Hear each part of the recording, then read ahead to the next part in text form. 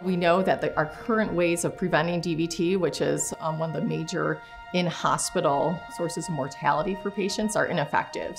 To be an effective surgeon and researcher really means noticing common problems that we sometimes become blind to as surgeons because we're so used to encountering them. And being a researcher is you're always on the lookout for these common problems and a way to bring them back to the lab.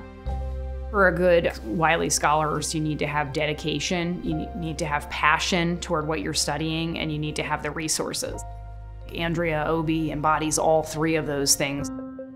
The Wylie Scholar Award is one of the most important awards we have in vascular surgery in the country, and many have gone on to be the leaders of vascular surgery in the country. It's founded by the Vascular Cures Foundation, and the whole premise of the Wylie Award is to sponsor emerging surgeon scientists who are interested in solving a problem in vascular surgery. It's quite quite competitive amongst vascular surgeons. We were all really excited when she got this award. Dr. Obi is really one of the most up and coming rising academic stars in the country, and she's done some incredible research. Our clinical problem really is sepsis related deep venous thrombosis. Basically, it's clotting of the veins in, in primarily the legs, and this can cause both limb problems where people get swelling, pain, uh, and ulceration, or it can also cause an embolus to the lungs that kills people. I think it will have a huge impact on her patients because she's studying something that not a lot of people look at. It's about the third largest killer of people behind heart disease and cancer. It could impact a lot of patients, probably about 33%, so that's a lot of people. Once someone has uh, sepsis or becomes very ill, their risk of DVT is elevated for the next year, and traditional agents are not very effective at preventing DVT.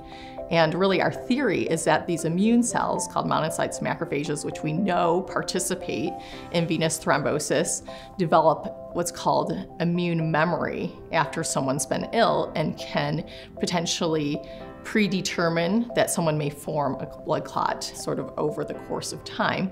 And so our goal is really to target that process, investigate it, and figure out new therapies focusing on the immune system rather than anticoagulation to prevent or treat DVT in the future.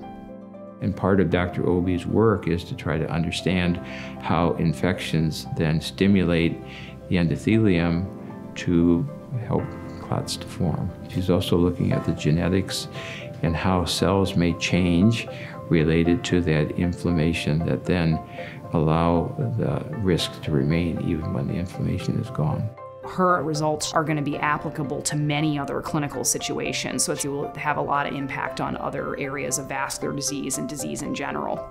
Dr. Gallagher has been a very strong uh, mentor for Dr. Obi in helping her to understand what it takes to be a successful academic surgeon scientist.